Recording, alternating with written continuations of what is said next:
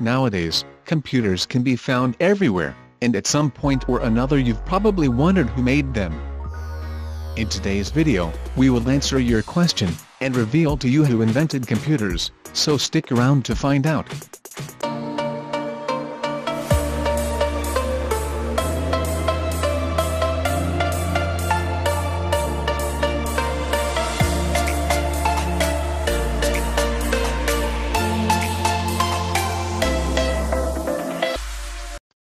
If you are new around here, make sure to subscribe with notifications on, so you do not miss any of our new videos.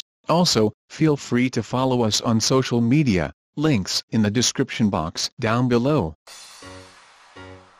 In fact, the first computer resembling today's modern machines was the analytical engine.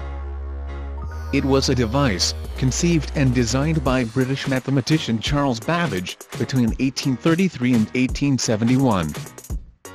Before Babbage came along, a computer was a person, someone who literally sat around all day, adding and subtracting numbers, and entering the results into tables, which appeared in books, so other people could use them to complete tasks.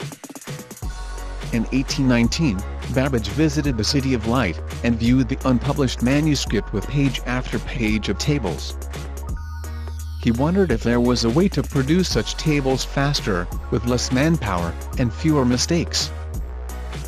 Babbage returned to England, and decided to build just such a machine, his first vision was something he dubbed the difference engine which worked on the principle of making complex mathematical calculations, by repeated addition, without using multiplication or division. It was until 1832 that he produced a functioning prototype of his table-making machine. Then he turned his attention to an even grander idea, the analytical engine a new kind of mechanical computer.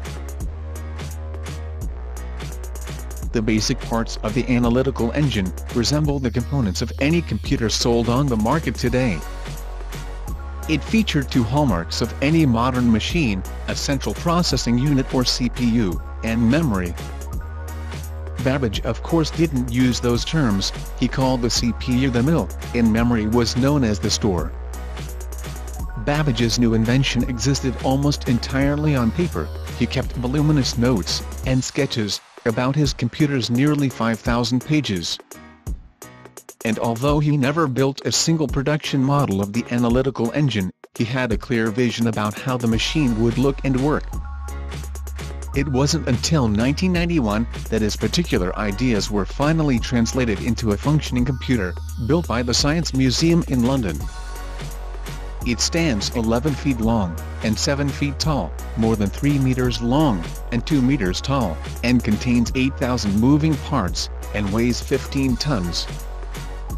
Augusta Ada Byron, met Babbage at a party when she was 17, and became fascinated by the mathematician's computer engine. Ada discussed Babbage's ideas with him and, because she was gifted in mathematics offered her own insights.